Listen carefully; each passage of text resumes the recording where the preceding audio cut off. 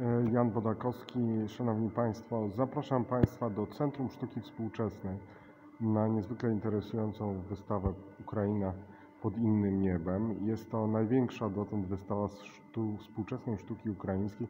Powstała w reakcji na rosyjską agresję. Prezentuje ponad 200 prac 32 artystek i artystów. Działających w różnych mediach e, twórcy po 24 lutego stanęli przed koniecznością utrwalenia tragicznych wydarzeń. Sztuka prezentowana na wystawie dokumentuje bestialstwo na rosyjskiego najeźdźcy i apeluje do sumienia świata. E, oczywiście taki górnolotny napis e, Świat sumienia nie ma, co widać po jego reakcjach na wojnę na Ukrainie. Natomiast sama koncepcja tej wystawy jest świetna, bo jest to doskonała dokumentacja tego, jak twórcy sztuki zapisują zapisują wydarzenia dotyczące ich kraju, tego jak wojna trwa. Część jest to sztuka nowoczesna, zdjęcia. e,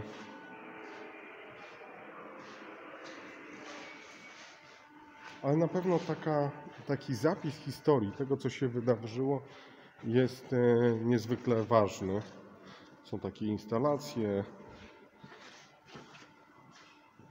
e, bo pokazują percepcję rzeczywistości w danym momencie, tego jak wygląda e, wojna, jak ją opisują artyści, co dostrzegają w tym, co się dzieje, co ich, co ich e, otacza. Tu są jedne z najbardziej takich e, przejmujących zdjęć właśnie domów, które są zniszczone, spalonych książek, zniszczonej porcelany, cmentarzy, dzieci bawiących się wśród ruin,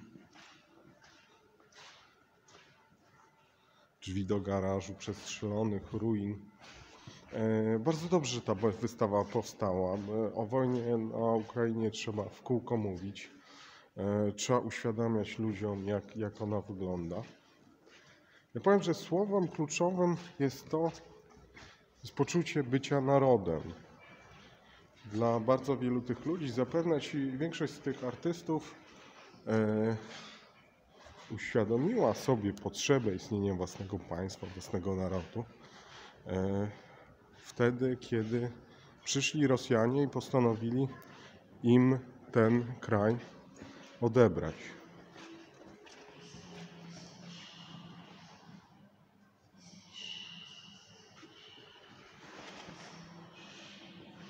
E, Zapewne większość z nich była zaczadzona jakimiś internacjonalistycznymi, postępowymi bzdurami, które niestety, e, którymi zaczedzeni są nasi twórcy też. Natomiast samo doświadczenie krzywdy, bólu, cierpienia e, z rąk rosyjskiego oprawcy e, jest takim niezwykle ubogacającym. To jest przerażające, że jest ubogacającym doświadczeniem, dzięki któremu ci ludzie zrozumieli, poznali, czym jest własność, czym jest wartość własnego państwa, własnego narodu. I to widać w tej sztuce. E, To jest, cudo, to, to jest piękne, że twórcy tej sztuki nie wstydzą się swojej tożsamości narodowej, swojego patriotyzmu, e, tego, że są Ukraińcami. Miejmy nadzieję, że polscy twórcy też kiedyś e, zrozumieją, jak ważna jest, ważny jest naród, jak ważne jest państwo.